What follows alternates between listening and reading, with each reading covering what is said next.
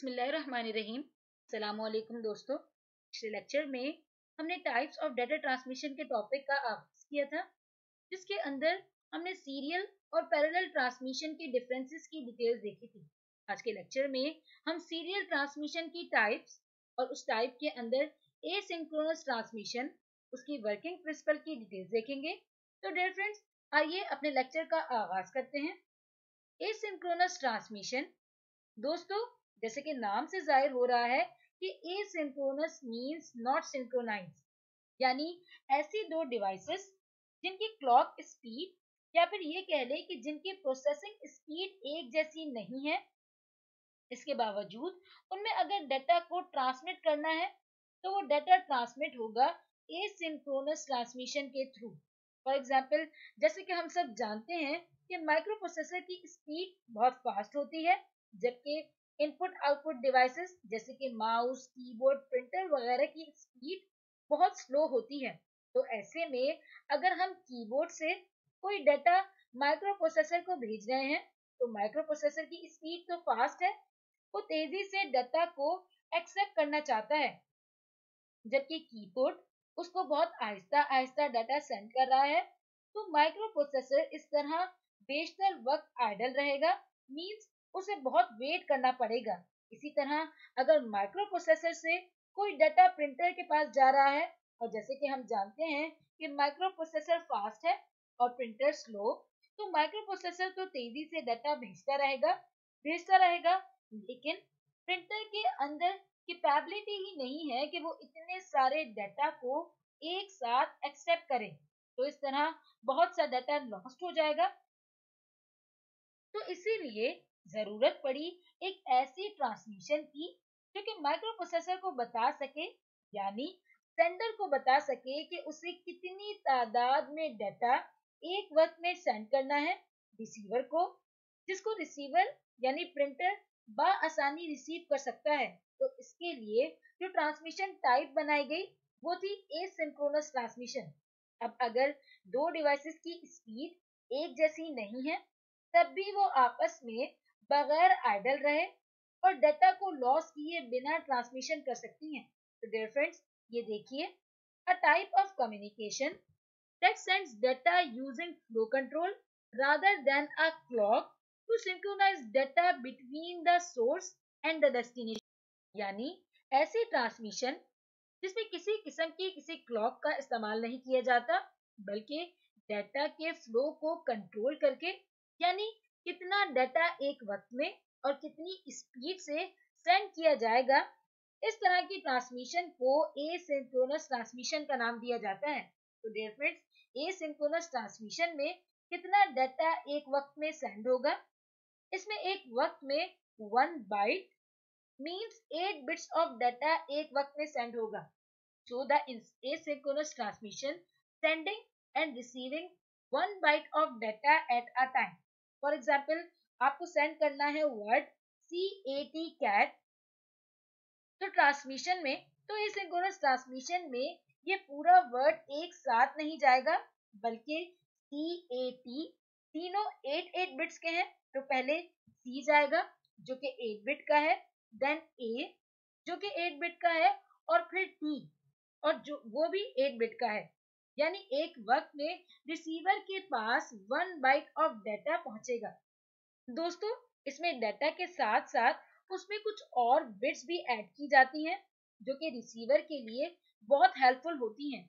वो है स्टार्ट और स्टॉप बिट दोस्तों, इसके स्टार्ट में एक बिट लगा दी जाती है, जो कि रिसीवर को बताती है कि अब आपका डाटा आना शुरू हो रहा है। और जब पूरा डाटा यानी एट बिट्स का पूरा डाटा रिसीवर तक पहुँच जाता है तो एक स्टॉप बिट एंड में लगा दी जाती है, जो कि रिसीवर को बताती है कि अब आपका डाटा मुकम्मल हो गया है। इस तरह रिसीवर को पता लगता रहता है कि कब डाटा आ रहा है और कब स्टॉप हो गया है, जिससे रिसीवर को बहुत हेल्प मिलती है। तो डियर फ्रेंड्स ये देखिए, in asynchronous transmission each character is surrounded by start and stop signal. That's why it is called start and stop transmission. Means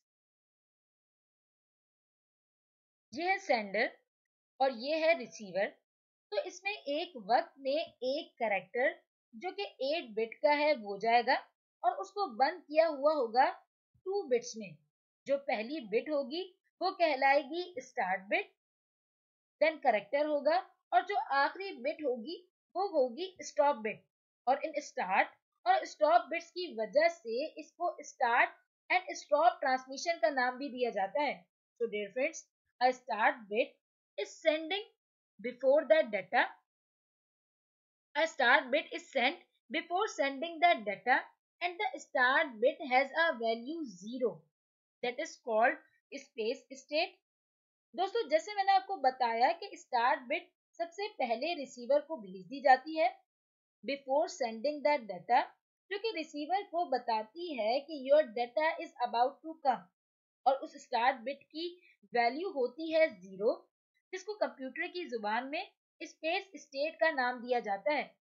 जब पूरा डाटा रिसीवर तक पहुँच जाता है तो एंड में एक और बिट ऐड की जाती है, जो कि स्टॉप बिट कहलाती है। और उस स्टॉप बिट की वैल्यू होती है वन और कंप्यूटर की ज़ुबान में उसे मार्क स्टेट कहा जाता है. So dear friends, the value of stop bit is 1 and it is called mark state. दोस्तों एसिंक्रोनस ट्रांसमिशन में डाटा यूनिट्स के दरमियान गैप्स होते हैं. यानी पहले एक करेक्टर सेंड होता है फिर थोड़ा सा गैप होता है फिर दूसरा करेक्टर और इस तरीके से तमाम करेक्टर्स यानी जितना भी डाटा आप भेजना चाहते हैं, उनके दरमियान गैप्स मौजूद होते हैं। फॉर एग्ज़ाम्पल दोस्तों, इस पूरे प्रोसीजर को थोड़ा सा रिवाइज करते हैं। ये है सेंडर और ये है रिसीवर और इन दोनों के दरमियान आप सेंड करना चाहते हैं वर्ड कैट जैसे कि मैंने आपको बताया था कि इसमें करेक्टर बाय करेक्टर यानी एट एट बिट्स की शक्ल में डाटा सेंड होगा। तो पहले सी की एट बिट सेंड होंगी। लेकिन सी को भेजने से पहले हम रिसीवर को भेजेंगे एक स्टार्ट बिट जो कि है ज़ीरो ये स्टार्ट बिट रिसीवर को बताएगी कि अब आपको डाटा यानी सी मिलने वाला है। आप इसके लिए तैयार हो जाएँ। और जब ये पूरा करेक्टर यानी ये पूरी एट बिट्स रिसीवर तक पहुँच जाएँगी तो हम सेंड करेंगे एक और सिग्नल जो कि है स्टॉप सिग्नल जिसकी वैल्यू है वन ये वन रिसीवर को बताएगा कि अब आपको एक पूरा करेक्टर जो कि एट बिट्स पर मुश्तमिल है, आपको मिल चुका है। इस तरह रिसीवर को भी पता लग जाएगा कि उसके पास एक पूरा करेक्टर उसके पास आ चुका है, लेकिन अब फ़ौरन अगला करेक्टर सेंड नहीं होगा, बल्कि पहले थोड़ा गैप आएगा मीन्स सेंडर और रिसीवर थोड़ी देर आइडल रहेंगे, यानी कोई डाटा ट्रांसमिट नहीं होगा। और थोड़ी देर आइडल रहने के बाद अगला करेक्टर ट्रांसमिट होगा। दोस्तों फ्रेंड्स ये देखिए। In asynchronous transmission the line that is idle is identified by a value of one so this value indicate that no data is currently being sent यानी आप देख सकते हैं, जब वन आएगा तो ये 1 ये रिप्रेजेंट करेगा कि अभी ट्रांसमिशन कुछ देर के लिए आइडल रहेगी यानी कोई डाटा ट्रांसमिट नहीं होगा थोड़ी देर के लिए and when the line is switches from the value 1 to a 0, the receiver is alerted that a data character is about to come down. यानी जैसे कि आप देख सकते हैं कि जब ये वन ज़ीरो की तरफ़ स्विच होगा यानी जब 1 के बाद हमें ज़ीरो नज़र आएगा तो ये ज़ीरो ये रिप्रेजेंट करेगा कि अब रिसीवर को अलर्ट हो जाना चाहिए कि उसके पास अगला करेक्टर आने वाला है। और दोस्तों, इस तरह इसमें डाटा के फ्लो को कंट्रोल किया जाता है by the start and the stop bit दोस्तों, ये थी एसिंक्रोनस ट्रांसमिशन की वर्किंग आइए इसके एडवांटेजेस और डिसएडवांटेजेस की डिटेल्स देखते हैं। दोस्तों क्योंकि इसमें क्लॉक यूज़ नहीं होती। और याद रखिएगा, जहाँ भी क्लॉक यूज़ होगी, वहाँ लोकल स्टोरेज रिक्वायर्ड होता है फॉर सिंक्रोनाइजेशन और क्योंकि इसमें कोई लोकल स्टोरेज रिक्वायर्ड नहीं है, क्योंकि कोई क्लॉक यूज़ नहीं हो रही, जिसकी वजह से ये दूसरी ट्रांसमिशन की नस्बत इनएक्सपेंसिव होता है, यानी कम कीमत का होता है। और इसको ज़्यादातर कंप्यूटर्स में डाटा को ट्रांसफ़र करने के लिए इस्तेमाल किया जाता है। लेकिन इसका एक डिसएडवांटेज भी है। इट इज़ रिलेटिवली स्लो क्योंकि इसमें हर एक करेक्टर को वन बाय वन सेंड किया जाता है। यानी हर एक करेक्टर को एक एक करके सेंड किया जाता है और हर करेक्टर के बाद गैप भी दिया जाता है, जिसकी वजह से इसके ज़रिए जो डाटा ट्रांसफ़र होता है, वो निस्बतन आहिस्ता स्पीड का होता है।